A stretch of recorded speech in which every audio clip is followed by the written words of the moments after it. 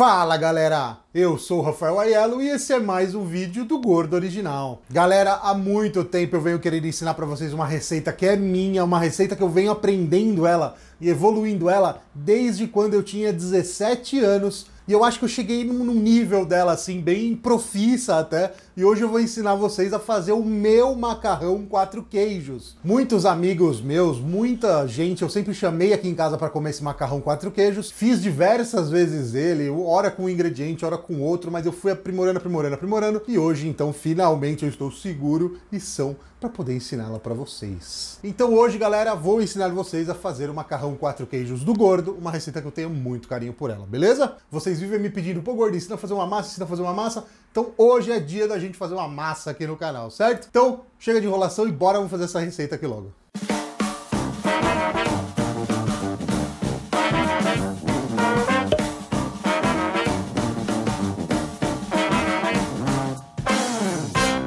Galera, para fazer essa receita nós vamos precisar de... Vem cá, vamos olhar aqui, ó.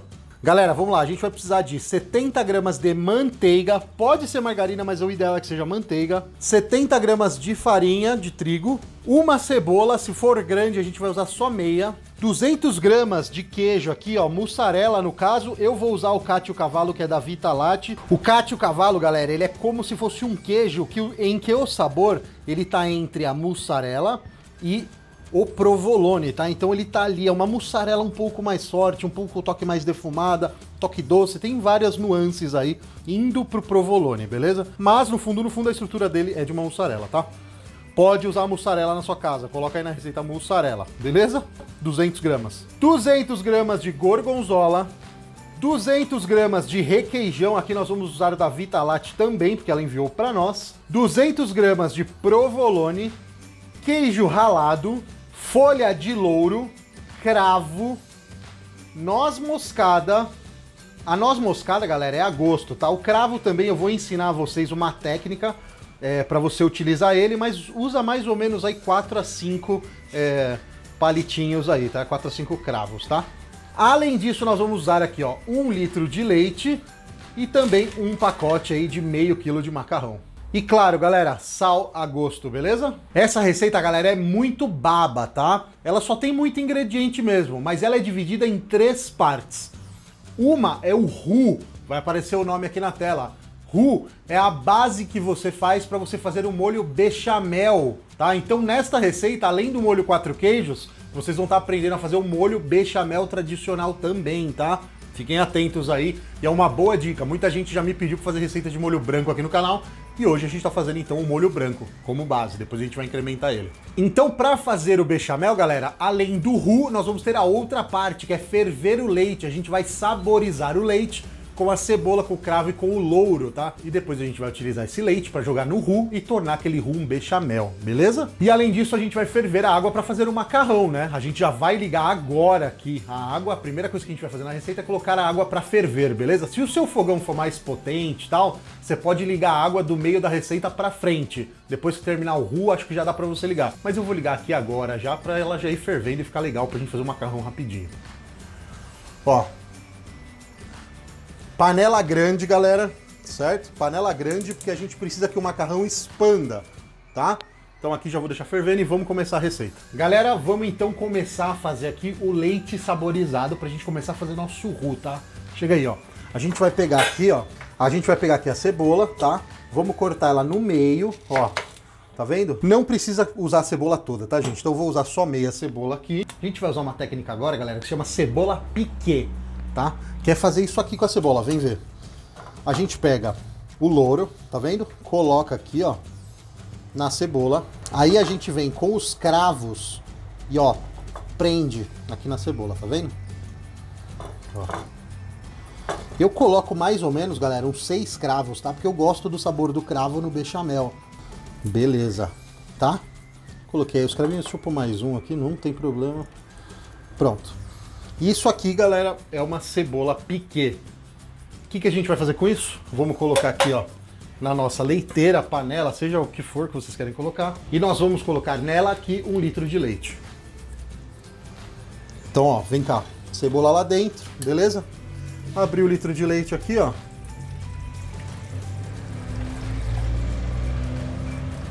Fechou? Agora o que eu vou fazer com isso, vou levar pro fogo. Quando a gente vai saber que isso tá pronto? Quando o leite ferver, tá? Então a gente vai colocar aqui, ó. Isso aqui. Pronto. Ó.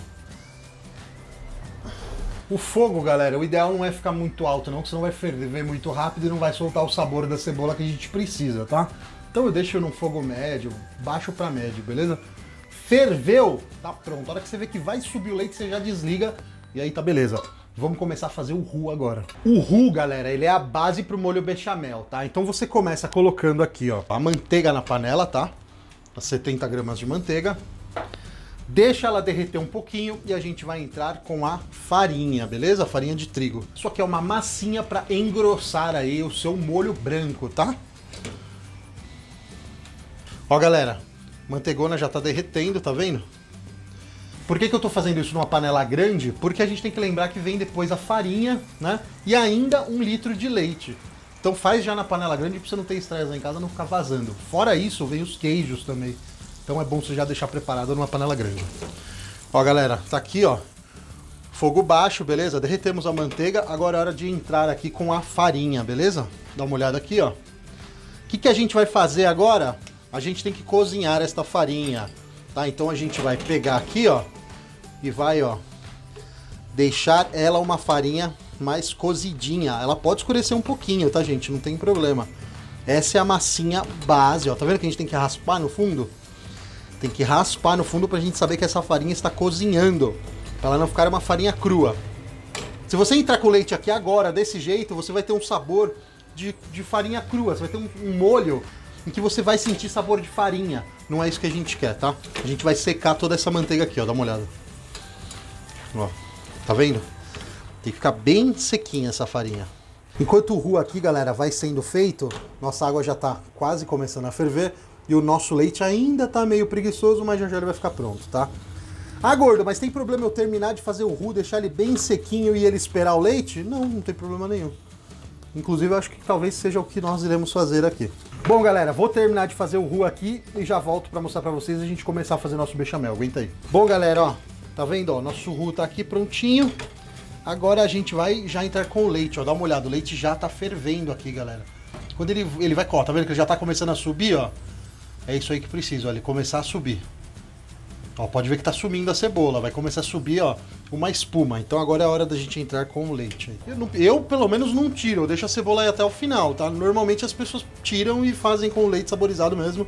Eu vou deixando a cebola aí, porque eu quero que saia o máximo de sabor possível, tá? Que ela solte o máximo de sabor possível, ó. E aos poucos a gente entra com o leite. Olha a diferença já, ó. Olha o nosso molho já começando a se formar aqui, ó. Tá vendo que tá hidratando a farinha cozida agora, ó? Tá vendo? É isso aí que a gente quer, ó. Já vamos colocar mais leite aqui, ó. Tomar cuidado para não acontecer isso aqui, para não queimar tudo, tá, gente? Ó, leite quente, não façam com leite frio, tá? Pelo amor de Deus, gente. É leite é, quente aí, beleza? Ó. Tá vendo?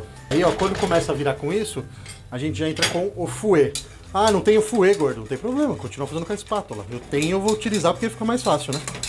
Não tem por que eu ter todo um trabalho extra se eu tenho uma ferramenta de trabalho que dá pra usar tranquilamente, ó. Tá vendo? Já tá começando a massa do molho a ser formada, ó.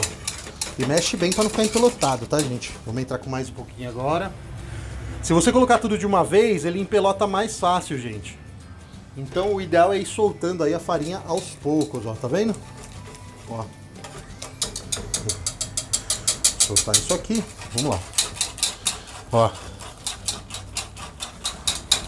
Tá vendo o molho já ficando pronto? Mexe bem, galera. Pra ele ficar lisinho. Tá vendo? Ó, ó. Tá? Quando se tiver pelota, fica ruim no molho. Então a gente tem que mexer bem. Mais um pouquinho de leite aqui. Sempre aos poucos. Colocou tudo de uma vez, você não vai conseguir mexer, você não vai conseguir incorporar o leite na massa de farinha. Aí vai ficar tudo empelotado, tudo ruim, né? Não é o que a gente quer, a gente quer um molhão maravilhoso. Ó, dá uma olhada aqui, ó. Vocês estão vendo que tá virando aqui, ó. Parecendo até um pudim, né? Ó, brilhante, lindo, tá vendo? Ó, galera, ó que lindo, ó, lisinho, ó, tá vendo? É isso aqui que a gente precisa, tá? Quanto mais você mexer em temperatura baixa, tá? Não se esqueçam. Mais lisinho vai ficar seu molho. Ah, gordo, posso colocar tipo isso aqui, ó, pra pegar e bater meu molho? Pode, vai ficar mais liso ainda, não tem problema. É que eu acho que não há necessidade. Eu gosto dessa, desse lance de mexer com a mão mesmo e tal. Vamos colocar aqui o resto do leite. E já vai estar pronta a nossa primeira parte.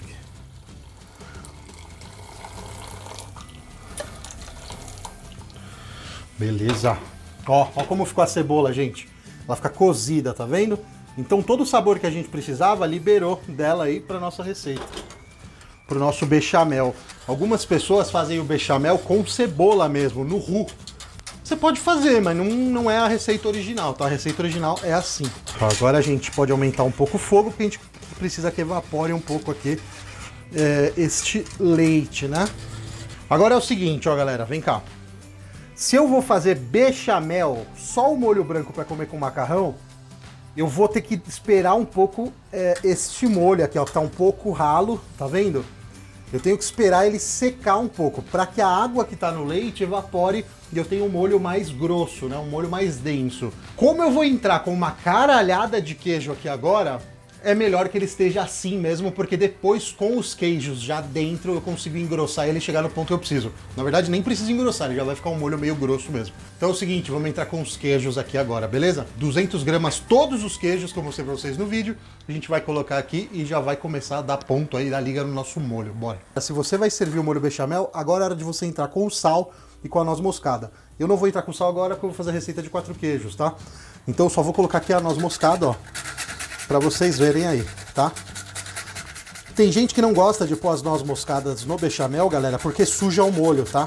Ele fica assim, ó, com esses pedacinhos, e não é todo mundo que gosta, tá? Só um pouquinho, só para dar um tchan porque a gente também não quer roubar o sabor do quatro queijos, beleza? Vou colocar aqui primeiro, galera, o Cátio Cavalo. Cátio Cavalo, já falei pra vocês, mussarela, beleza? No lugar dele vocês podem usar mussarela. Eu tô usando o Cátio Cavalo porque a Vitalate me mandou e é um queijo bem saboroso, eu acho bem legal. E ele cumpre o papel da mussarela, tá? Então já vou colocar ele aqui, ó. Além do Cátio Cavalo, eu já vou entrar com a gorgonzola também, gente. Por quê? Porque eu já quero incorporar ela aqui no creme, tá? Bora, galera, vamos colocar aqui, então, a gorgonzola. Ó. Despedaça ela toda assim, tá? Depois lava a mão aí, que senão você vai ficar com a mão toda melecada pra mexer em tudo. Beleza? Vamos incorporar aqui, galera. Sempre em fogo baixo, tá? Pra que todos os queijos incorporem melhor ao molho. Ó, já tá ficando com cara de molho aqui, hein? Galera, agora é o seguinte, isso vai depender de vocês, tá? Não há a necessidade, mas eu adoro colocar no molho quatro queijos uma caneca de vinho, tá? Dá mais ou menos 180 ml. Vai de vocês. Eu coloco uma caneca de vinho branco no meu molho quatro queijos. Não coloquei na receita inicialmente porque não é necessário. O molho já vai ficar muito bom sem. Mas eu gosto de colocar porque dá uma incrementada show, dá um sabor maravilhoso. Ó, tô entrando com o vinho branco. Beleza. Eu sei que tem muita gente que não gosta de colocar bebida alcoólica em comida, por isso que eu não passei no começo do vídeo para vocês, tá? Vai ser opcional aí para quem assistiu o vídeo. É o famoso hack do gordo, cara. Esse aqui é o hack do gordo. Coloca o vinho branco no molho quatro queijos pra você ver que delícia que fica. Fica maravilhoso. Olha o cheiro aí. Não tá bom o cheiro, câmera? Tá, tá ótimo o cheiro. Tenho certeza. Agora, galera, depois de colocar o vinho, ó, você pode ver que o molho ficou um pouquinho mais ralo, óbvio, né? Ainda vai evaporar. Vamos colocar aqui os pedaços de provolone. Galera, você pode ralar, vai depender de vocês. Eu já ponho um pedaço inteiro assim, tento cortar ele no mínimo possível, porque, mano, ficar ralando o queijo demora pra cacete. E você consegue despedaçar com a mão também, né? Só que, claro, se você jogar um pedação grande assim, ele não vai derreter tão fácil, vai demorar mais. Então, ó, amassa tudo aqui, ó, e vai colocando. Às vezes, galera, dependendo do queijo, da marca que você use, tanto a gorgonzola quanto o provolone, você já não precisa nem salgar esse molho, tá? Ele já fica bem salgado. Então, é, tomem cuidado aí na mão de sal que vocês forem dar para arrumar. Sal sempre depois, tá? Que o molho estiver pronto para você acertar o sal dele, porque senão você erra, aí você vai colocando aos pouquinhos, vai mexendo e vendo quando vai chegar aí no, no salgado que você gosta. E agora, galera, vamos entrar aqui com requeijão, tá? Vitalate também mandou pra gente, a gente vai usar. Ah, gordo, mas é ultra mega necessário? Não, mas desde novo eu coloco minha receita dá bem certo, então vamos usar. Bora colocar aqui então o requeijão. Pô, gordo, dá pra mim usar outro é, requeijão cremoso, um catupiry, dá, cara, fica gostoso. Mas esse aqui da Vitalate é muito bom também, dá pra você ver até pela consistência dele, ó. Tá vendo? É, é consistência de requeijão mesmo. Isso é até um toque que eu queria dar pra vocês um dia, tá? Não é porque a Vitalate me mandou não, mas o, o requeijão deles tem consistência de requeijão mesmo, ó. Tá vendo? Ó, aqueles requeijões que a gente comia antigamente, requeijão, ó, com textura de requeijão mesmo, ó. Tá vendo? Ó, ó o quanto estica, tá vendo? Ele não é aquele requeijão líquido, é um requeijão bem assim, bem é, cremoso mesmo, sabe? Da época que a gente comia pão francês com requeijão. Quem nunca fez isso? Duvido aparecer alguém aqui que nunca fez isso. Se você nunca fez isso, já coloca aí nos comentários, porque você é esquisito, mas eu quero ver se existe gente que já fez isso ou não. Galera, nosso molho está praticamente pronto, tá? Eu só vou mexer esse requeijão aqui e ele já vai estar tá no ponto aí que a gente gosta. Olha, olha a consistência do requeijão deles, ó. Então o que, que eu vou fazer agora? Vamos entrar com o macarrão. Bora, vamos lá, galera. Ó. Macarrãozão, água fervendo, tá? Olha, ó. Sete minutos e meio, tá pronto, galera. O molho já tá quase aqui, ó, galera. Ó, vem ver aqui, ó. Ó, A hora que eu desligar a panela, ele vai começar a incorporar mais ainda, tá? Porque ele vai evaporar bastante aí do que é, resta nele. E aí vai chegar no ponto que a gente quer. Bom, galera, aguenta aí, que assim que o macarrão estiver pronto, a gente já volta. Galera, ó, vem ver o molho aqui, ó. Eu deixei ele esfriar um pouco, tá? Ainda não está o ideal, mas ó, ó a consistência dele, que legal que tá. Tá vendo, ó? Veludado, brilhando, liso. Tá vendo? Beleza, agora a gente vai escorrer o macarrão que já tá pronto, tá? Fiquem atentos ao macarrão, galera. Normalmente em pronto, tá? Tem lugar que em quatro fica pronto, então tomem cuidado. Vamos escorrer aqui, tá uma bagunça. Só pra gente escorrer aqui lá. Uh! Vamos escorrer a massa aqui. Beleza. Volta ela pra panela. Deixa ela no fogão. E agora é só a gente se servir. Galera, o Baby me lembrou aqui de uma coisa. Tem gente que acha que tem que lavar a massa. Não faça isso, porque senão você dá um choque térmico na massa, tá? Você estraga, ela gruda toda uma na outra e aí fica aquela papa, tá? Não faça isso, não lave a massa. Escorreu a água da massa, acabou, meu amigo. Não faça mais nada, beleza? Não precisa jogar, não precisa fazer nada. Bom, vamos se servir aqui. O macarrão, galera, pode ser da sua escolha, tá? Você pode escolher o macarrão que você quiser. Eu coloquei o penne aqui porque entra mais molho dentro. Penetração do molho dentro da massa é mais fácil, tá? Sem pensar besteira, gente. Ó, vamos pegar aqui, ó. Eu sempre coloco um pouquinho de molho antes no meu prato. Ó, ó a textura, que linda, é isso que a gente quer. E depois eu venho com o macarrão, porque eu gosto muito de molho, tá, gente? Tem gente até que se assusta porque eu coloco muito molho. Ó. Deixar aqui. Vamos pegar aqui uma conchona de molho, ó. Ó, ó, que beleza! Ai, eu adoro molho quatro queijos, gente. A primeira coisa da minha infância, quando eu comecei a cozinhar, quando eu mudei de casa, a gente mudou para essa casa aqui que a gente mora hoje, e eu quis aprender assim, foi o molho quatro queijos. Olha ele lisinho, gente, dá uma olhada. Olha que lisinho, gente. Olha. Liso, né? É assim que a gente tem que ter. E agora o último toque aqui pro nosso macarrão quatro queijos, que na verdade é cinco, né? Vamos colocar aqui então o parmesão. Só para dar aquele toque, não precisa pôr muito não, galera. Senão você acaba perdendo aí todo o sabor do molho quatro queijos. Ó, vamos lá, vamos comer essa delícia aqui, ó. Ó, ó, vem ver a consistência deles, gente. Ó, ó, ó. Olha a consistência desse molho. Tá vendo? É só você deixar esperar um pouquinho. Ó, que ele fica assim, tá vendo que o molho abraça a massa, ele não fica escorrendo totalmente por ela? É isso que a gente quer.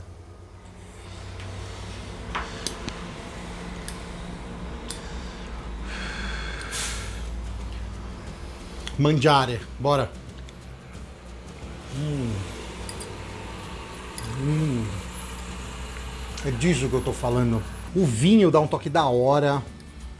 Ele fica com um sabor um pouco ácido. Aí você sente um pouquinho da noz moscada, poderia ter ido um pouco mais aqui, cabia tranquilamente. Mas o principal, gente, que é esse molho, fica maravilhoso. Façam na casa de vocês. Hum. Fazia tempo já que eu queria gravar esse molho pra vocês. É muito bom, muito bom. Tem gente que usa Eu no começo, quando comecei a fazer essa receita em casa, eu colocava pedacinhos de bacon, fritava e jogava no molho. Fica maravilhoso também. Alho, vai muito bem. Hum. É que eu não sei se vocês estão ouvindo, ó. Ó. Muito fácil fazer, gente. 200 gramas de cada queijo. Fácil, babá. Tem nem o que falar. Galera, é isso aí. Espero que vocês tenham gostado aí do meu macarrãozão quatro queijos. Esse é o macarrãozão do gordo, uma receita simples, não tem nada demais, nem é alta gastronomia, nada do tipo, é só uma receita minha aí, comfort food, uma coisa que eu fazia desde novinho, beleza? Espero que vocês tenham gostado. Quem reproduzir essa receita, não se esqueça de marcar a gente lá no Instagram. Dá um like aí no vídeo para dar uma força, pô, receitinha carinhosa aqui. E não se esqueça aí de se inscrever nas nossas redes sociais que estão aqui embaixo. A gente se vê então no próximo vídeo do Gordo Original.